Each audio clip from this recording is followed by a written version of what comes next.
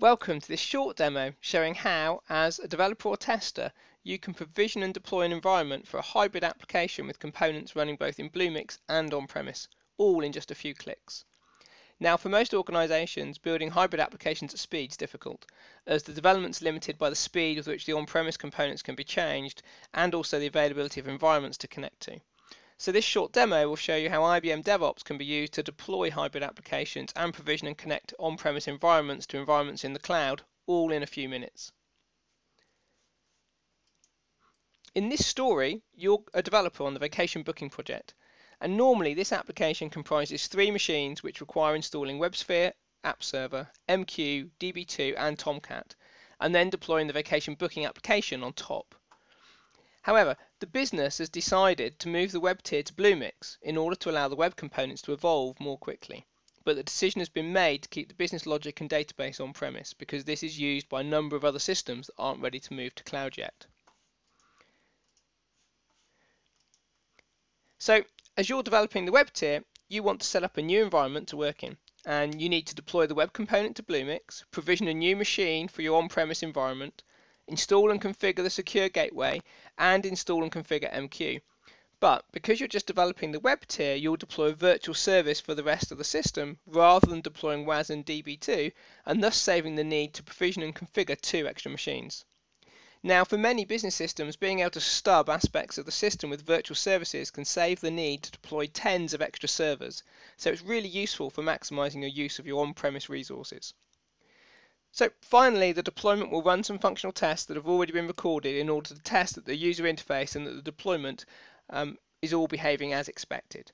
So let's get on and I'll show you the demo. So in this demo, you're going to start by going to the self-service catalog in order to request your new hybrid environment. You navigate down a couple of steps and you request the new VMware DevTest environment. Once that comes up, you need to choose the blueprint that we're going to deploy and specify an environment name. And once you specify both those things, you can simply just press the deploy environment button.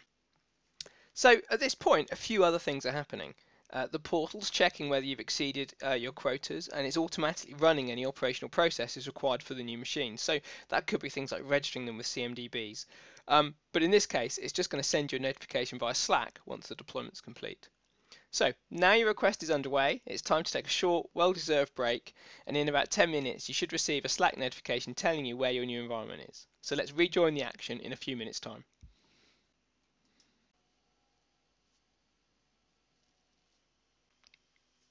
So welcome back, and you can see that we've now uh, received a Slack notification telling you where your environment has been created.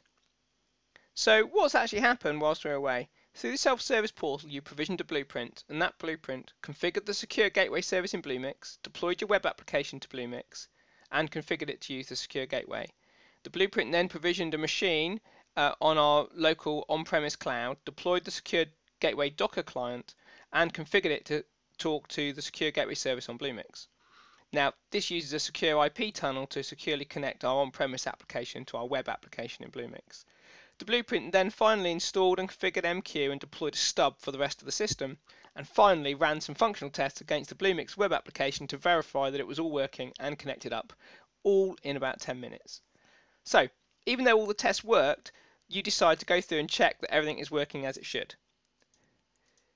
So, you open up the web application and there's a simple test you can do to check if everything is working. You can request the Barcelona flight, as you know that this exercise is all of the main components.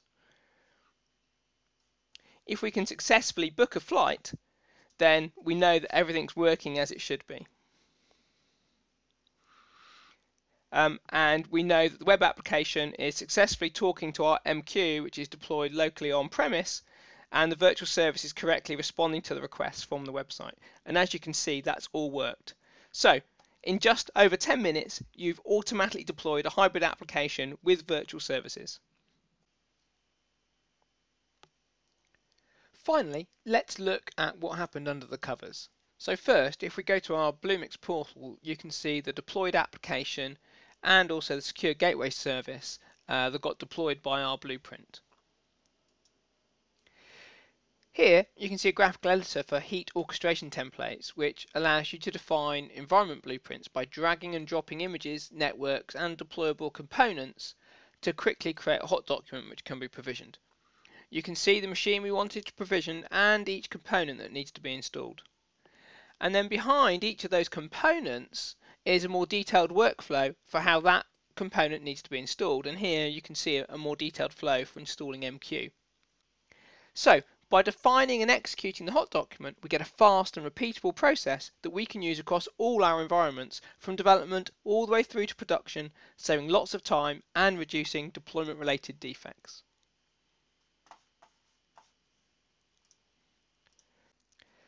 Finally, I'd just like to finish with saying that I hope you found the demo useful and that it showed you how, with IBM DevOps, you can save time by automating the deployment of hybrid applications and stubbing the parts of the system that you don't need how you can improve quality and feedback with automated tests, and also how you can maximize the utilization of your servers. So thanks for watching.